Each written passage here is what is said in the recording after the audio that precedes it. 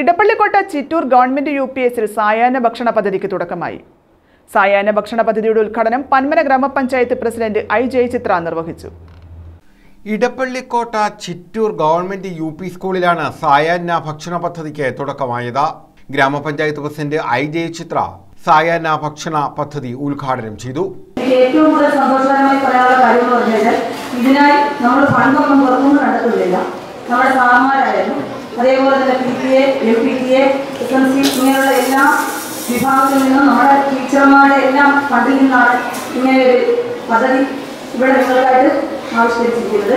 അതിനായി അവരോട് എന്റെ നന്ദി കിടപ്പാട് അറിയിച്ചു കൊടുക്കുന്നു എന്തായാലും കുഞ്ഞുങ്ങളെ ആരോഗ്യം സംരക്ഷിക്കുക പണ്ടത്തെ പണ്ടത്തെ കാലം എന്നൊക്കെ പറഞ്ഞു കഴിഞ്ഞാൽ നമുക്ക് ഒരു നേരത്തേക്ക് സ്കൂളുകളിൽ നിന്ന് ആഹാരമുണ്ടായിരുന്നു ഉച്ചഭക്ഷണം മാത്രമേ ഉണ്ടായിരുന്നുള്ളൂ. ആ കാലഘട്ടത്തിലാണ് ഇപ്പോൾ സായാഹ്ന ഭക്ഷണ പദ്ധതി അതേപോലെ തന്നെ പ്രഭാത ഭക്ഷണ പദ്ധതി ഇങ്ങനെ ഒരുപാട്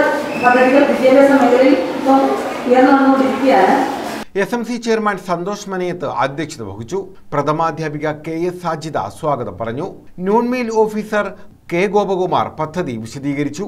ഗ്രാമപഞ്ചായത്ത് വൈസ് പ്രസിഡന്റ് പന്മന ബാലകൃഷ്ണൻ ആരോഗ്യ വിദ്യാഭ്യാസ standing committee chairman George Chacko Surath Sakeer Anitha T K Subina Rani Shamla Noushada Sanjith Jose Shameema J Divya S Mary തുടങ്ങിയവർ പങ്കെടുത്തു.